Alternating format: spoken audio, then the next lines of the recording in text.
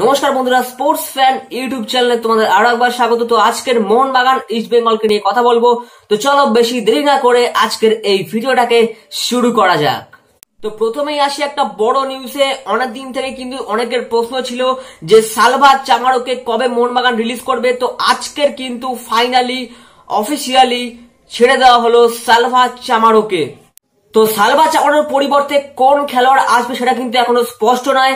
কিন্তু জানা যাচ্ছে ২৬ বছর বয়সী একজন ফুটবলার, তার নাম হচ্ছে হোরকে ওর্তি গার্সিয়া। সে কিন্তু মোহনবাগানে আসতে পারে এমনটাই জানা যাচ্ছে। এবং এই খেলোয়াড়টি হংকং এর একটি ক্লাব, পেগাসাস এফসিতে খেলে। তো দেখা যাক এই খেলোয়াড়টি মোহনবাগানে যুক্ত হয় কিনা। তো শেষে একটাই কথা বলব যে মোহনবাগানের একজন বক্স স্ট্রাইকারের সত্যি প্রয়োজন আছে কিনা। অবশ্যই আমাকে কমেন্টে জানিও।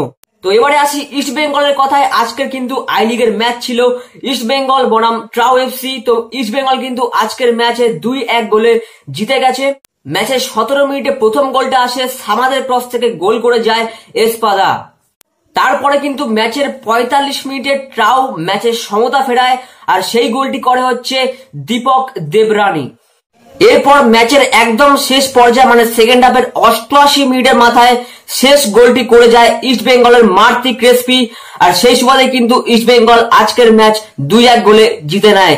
তো আশা করি ভিডিওটা ভালো লেগেছে, অবশ্যই লাইক করো চ্যানেলটাকে সাবস্ক্রাইব করো। ধন্যবাদ।